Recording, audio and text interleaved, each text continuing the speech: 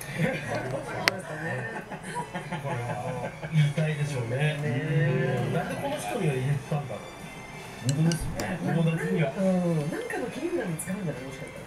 離婚する時とかなんかいやもうこの人はもう実は違うのよって。ダメですよ。まあまあでもどうしても分からないっていうことで定してんのかな続いて。はい、続いて東京都のオレンジさん24歳の方です、うん。私の友達は平日昼顔妻です。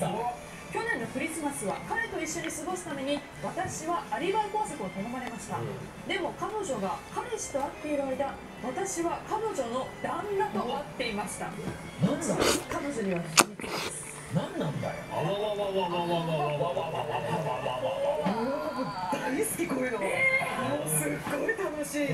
これドラマのような話これそもそももう出来上がってんのかなあどうなんだろうでも趣味だったのかもしれないですねその家族ぐるみの付き合いしてる中で旦那さんはそのこうまあ親密な関係になってこの友達は違うことにねこれクリスマスにそんなの頼むなんてこの人嫌だろうなと思ったらうんなんかこっちゃないですよもこの人は。うまたインフルですよでもみんな幸せだからい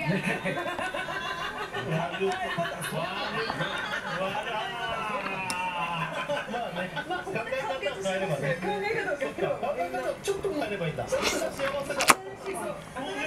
をすれば。ね登場人物みんな幸せだ。ね確かに。えそうだ。さ幸せって何だよ ねえ。はい。定義が分かるのかな。はい、じゃあ続いて、えーこちら栃木県のペンさん41歳の方。私の友人は一人息子に元彼の名前を付けました。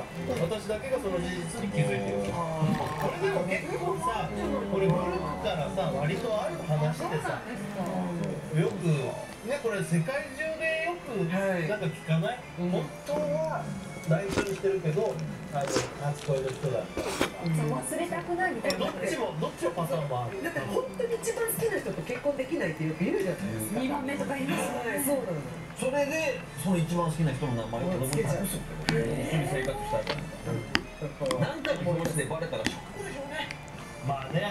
相手は嫌だろうね。うんなんで意味わかんないってなっちゃうからね。手紙がなんか出てきて同じだドキッとするからね。いやもう悲しいわ今日のメール悲しいので、まあね、そうだね。うーんと、いけないか。いっちゃうか。はい、続いていっちゃう、ルルさんもう一回。24歳の方です、はい私の友達は旦那に内緒で男性と2人だけで旅行に行っていました旦那には友達と旅行に行くと嘘をついたそうです。ごめんごめん、まだちょっとあったか。ら。ねえ。っと、内容が入ってこない。旦那に内緒で男性と2人だけで旅行に行っていた。方